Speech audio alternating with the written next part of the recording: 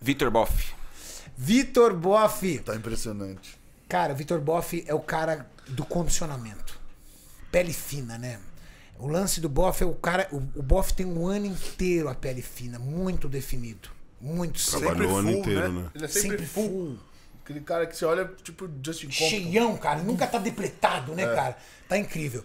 Só que ele vai participar e estrear dentro da categoria mais hard que tem do fisiculturismo, cara. Então, assim, é difícil a gente prever a colocação do Boff. O Boff pode surpreender. Mas um top 10 seria surreal. Nossa. Surreal. Rafael Brandão. Cara, Rafael Brandão Sou suspeito. Pra mim, ele tá trazendo a melhor melhor físico da vida dele. Cara, pega o Mauricião, vê se você consegue aí, não sei se ele colocou no Instagram, uma postagem que ele fez essa semana do quadríceps dele. O Chain, o Chain repostou. Cara, Saiu um vídeo Puxa, no canal da. Probiótica também, né? O, o Aceto avaliando o físico dele, acho que ontem de manhã. Essa última avaliação dele tá boa. tá? Pega lá então, Mauricião. Tá melhor Tá pra no mim. YouTube, eu Saiu acho. na probiótica ou no Renato? Não sei, acho que deu probiótica. Probiótica. Hum, tá, foi na probiótica, tá aqui. Porra, cara. Sei que coordena isso daí. Muitos vídeos. Desculpa, cara. Desculpa, são muitos vídeos. Aqui, ó.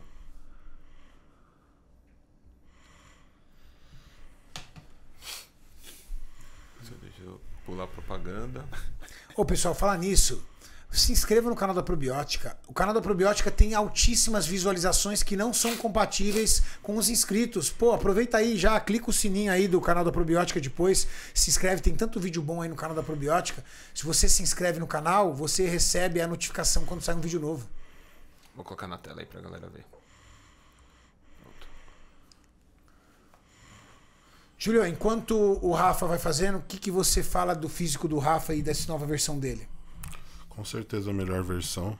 Ele tá trazendo o conjunto que ele precisava trazer para poder estar presente com esses caras, sendo competitivo. Que é diferente de subir só no Olímpio. O Rafael não trabalhou só para subir no Olímpio, ele trabalhou para ser competitivo no Olímpio. E esse é o ano, cara. O ano passado ele tinha conseguido a vaga, mas não deu certo. Mas eu acho que fez até bem ele não ter vindo. Porque ele não ia causar tão boa impressão quanto ele vai causar esse ano.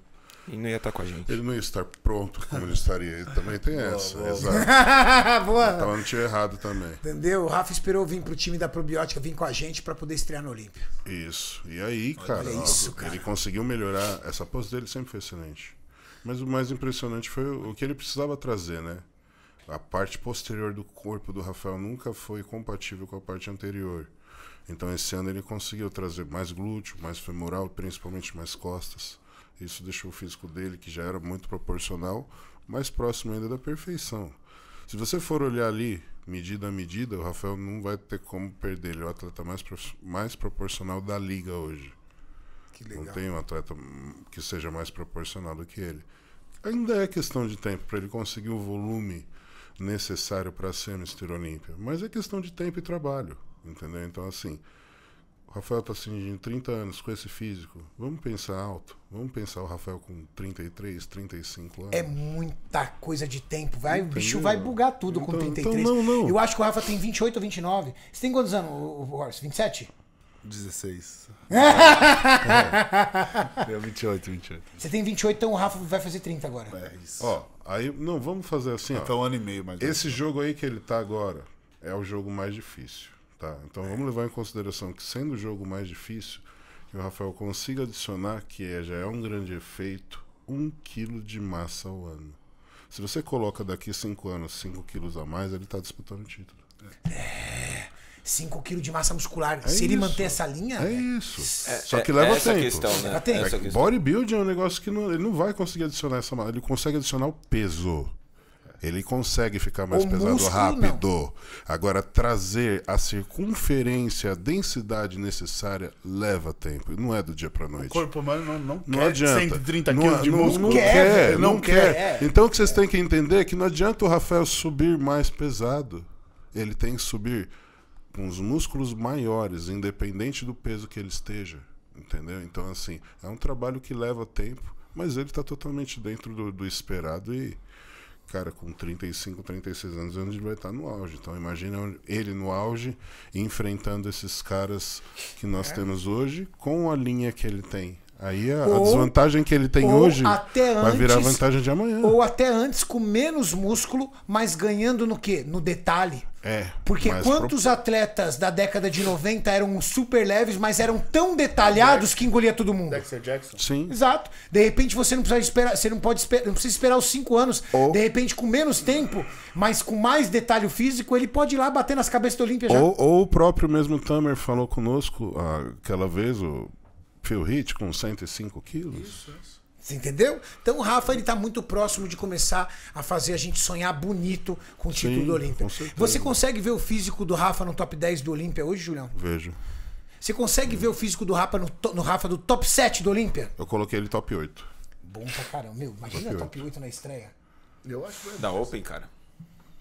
Top 8. E você, Force?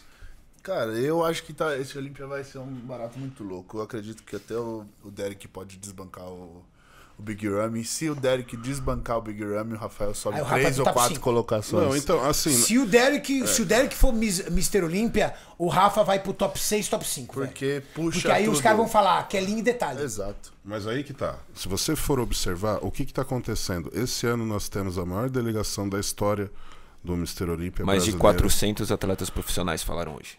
Entendeu? E aí, a- além disso, além disso, historicamente falando, nós estamos participando de algo que nunca aconteceu na história do fisiculturismo. Nós temos dois atletas opens que vão competir pelo Brasil que ganharam shows profissionais. Primeiro, nunca nenhum atleta brasileiro ganhou show profissional open. Luiz Otávio, quando veio, veio a convite do Campeonato Mundial.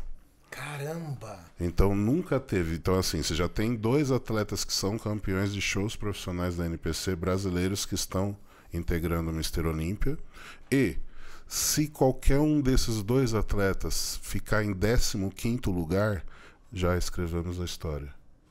Que já foi acima da A primeira, a primeira vez que um brasileiro se classifica dentro do Mister Olímpia. Então a gente está dois dias de bater esse fazer recorde, história. mas de bater esse recorde com certa facilidade. Eu não vejo o Rafael ficando em 15 lugar. Nem ferrando. O Boff é uma vejo, incógnita. O Boff é uma incógnita. A gente Exato. só vai saber quando pode colocar. surpreender.